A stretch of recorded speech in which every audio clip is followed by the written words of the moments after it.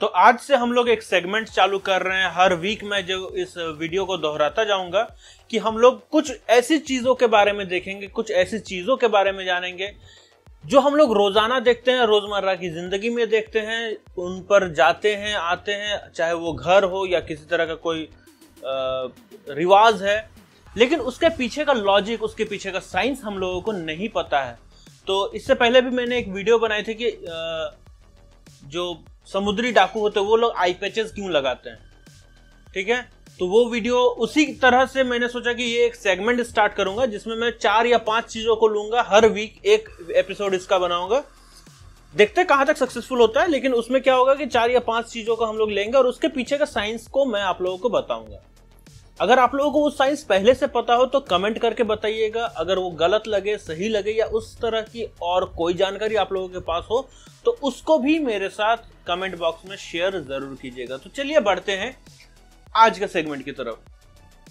क्या आपको पता है संडे को ही छुट्टियाँ क्यों होती है? क्या आपको पता है रात को नाखून क्यों नहीं काटने चाहिए? या क्या क्या आपको पता है कि कांच के बिल्डिंग के पीछे का लॉजिक या उसके पीछे का साइंस क्या है? आइए हम लोग इस वीडियो में और भी बहुत सारी चीज़ों के बारे में बात करेंगे। तो है गाइज़ माय नेम सुशांत और आप देख रहे हैं टेक्नोलॉजी ज्ञान सागर आइए ज्ञान के सागर में डुबकी लगाते हैं। तो हम लोग अपने घर के आसपास देखते हैं कि कांच के बिल्डिंग बने होते हैं ग्लासेस ग्लास बिल्डिंग्स बने होते हैं। तो इसके पीछे का लॉजिक क्या है? इसके पीछे का साइंस क्या है? ये चीज़ हमारे में आई है आ, वेस्ट कंट्रीज़ से। ठीक है? वहाँ पे क्या होता है कि अमेरिका ले लो या फिर न्यूयॉर्क कनाडा जो भी या फिर ऑस्ट्रेलिया या लंदन तो इन शहरों में तापमान होता है कम। तो यहाँ पे ग्लास बिल्डिंग्स का वहाँ पे ज़्यादा अच्छा बेनिफिट देखने को मिलता है कि वहाँ पे क्या होता है कि धूप अंदर आती है, अंदर के फर्श वगैरह को गर्म करती है और कांच जो होता है वो उस गर्मी को, अंदर वाली गर्मी को बाहर जाने नहीं देता है। तो वो एक तरह से नेचुरल रूम हीटर का काम करती है। हालाँकि इंडिया में बनाने की ज़रूरत नहीं है, लेकिन फिर भी हम लोग कांच के बिल्डिंग्स बनाते हैं और उसमें यूज़ करते हैं काले रंग का कांच। तो वो क्या करते हैं, वो ज़्यादा धूप को, ज़्यादा गर्मी को अंदर आने नहीं देती है। और अगर आप उसमें एसी यूज़ कर रहे हो या कूलर यूज़ कर रहे हो तो अंदर का जो तापमान है, यानी जो कम तापमान है, ठंडक है, उसको वो बाहर जाने नहीं देती है। तो इस तरह से क्या होता है कि वो अंदर का रूम जो टेम्परेचर जो होता है, वो कम होता है और आपको ठंड लगती है, गर्मी ज़्यादा नहीं लगती है। दूसरा जो है कि हम लोग रात को नाखून क्यों नहीं काटते? आप लोगों ने घर में सुना होगा बड़े बूढ़ों से कि रात को नाखून नहीं काटना चाहिए, रात को नाखून नहीं काटना चाहिए, ये होगा, वो होगा, अपशगुन होगा या खराब चीज़ है। इसके पीछे का लॉजिक क्या है? अब किसी समय में रहा होगा, ये मेरा मानना है, ठीक है? ये मेरा मानना है। इसके पीछे का लॉजिक ये मेरा मानना है। किसी समय में रहा होगा, पहले तो आजकल के जैसे नेल कटर होते नहीं है। न ही उस समय ब्लेड्स होते थे अच्छे वाले। तो उस समय क्या होता है, एक लोहे का पतरा होता था जिससे नाखून काटा जाता था। तो वो होता था, उससे क्या होता वो ज़्यादा धारदार होता था, लेकिन सेफ़ नहीं होता था। और पहले तो बिजली वैसे ही नहीं थी। तो क्या होता था कि उससे हाथ काटने का या उंगली कटने का या नाखून के साथ साथ चमड़ा भी कट जाने का डर रहता था। इसलिए कहा जाता था, किसी ने चालू कर दिया होगा कि नहीं, रात को नहीं काटना चाहिए, नहीं काटना चाहिए। तो वो आज भी हम लोग मान रहे हैं कि नहीं काटना चाहिए। नेक्स्ट पॉइंट है जो मेरा है, वो है कि संडे को ही छुट्टी क्यों? क्या रीजन है कि हम लोग संडे को छुट्टी मनाते हैं? बहुत सारे ऐसे कंट्रीज़ है जहाँ पे फ्राइडे को छुट्टी मनाया जाता है। आप मिडिल ईस्ट में देख लो साउथ ईस्ट में देख लो, वहाँ पे फ्राइडेज को छुट्टी मनाया जाता है। संडे को क्यों? इसके पीछे का साइंस भी है हिस्ट्री भी है और लॉजिक भी है। तो हिस्ट्री पहले जान लेते हैं। हमारे यहाँ पे 1889 से पहले संडे को छुट्टियाँ नहीं होती थी। उसके बाद एक महान व्यक्ति हुए जिनका नाम था नारायण मेघाजी लोखंडे। ये पुणे के आसपास के रहने वाले थे। इन्होंने एक रिवोल्यूशन स्टार्ट किया। ठीक है? कि हम लोगों को भी संडे को या कोई एक दिन वीक में एक वीक ऑफ़ चाहिए। और उन्होंने एक रिवोल्यूशन स्टार्ट किया ना 1881 में। और फिर जब अंग्रेज़ सरकार मानी तो 1889 से संडे का छुट्टी स्टार्ट हुआ। संडे का ही क्यों?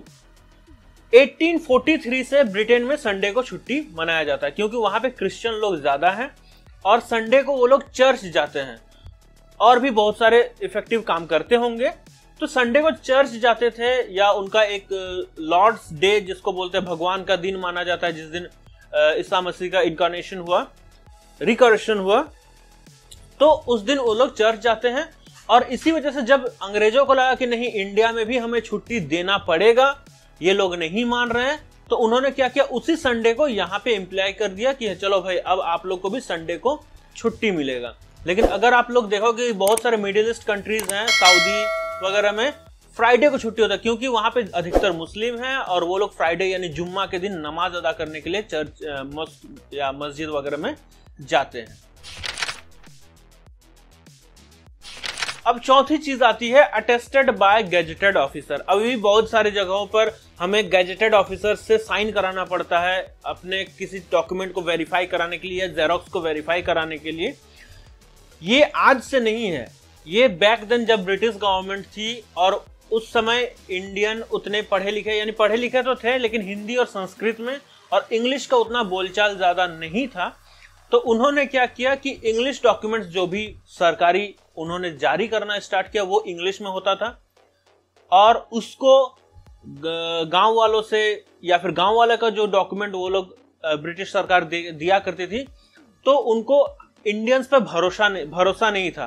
तो वो अपना जो गैजेटेड ऑफिसर एज ए वहाँ पे किसी गाँव में या शहर में बैठाती थी, किसी गाँव में रखती थी तो वेरीफाई करती थी कि वही गैजेटेड ऑफिसर उस पर डॉक्यूमेंट्स पर स्टाम्प करे और उसको वेरीफाई करे।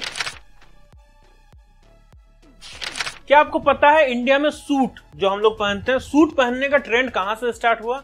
ये भी देखा देखी वाला सिस्टम है। इसके पीछे भी वही लॉजिक है कि वेस्ट कंट्रीज़ में जहाँ पे टेम्परेचर कम होता है, वहाँ पे वो लोग सूट पहनते हैं कहीं पर भी आने जाने से।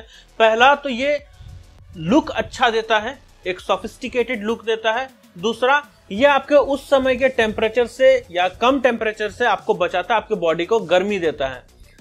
इंडिया में ऐसे ही गर्मी ज़्यादा है, इंडिया में ऐसे ही ह्यूमिडिटी ज़्यादा है। यहाँ पे पहनने का औचित्य बहुत कम लगता है, लेकिन फिर भी एक स्टाइल आइकन बन गया है, सब लोग पहनते हैं, कहीं पर भी आते जाते हैं तो चलता है।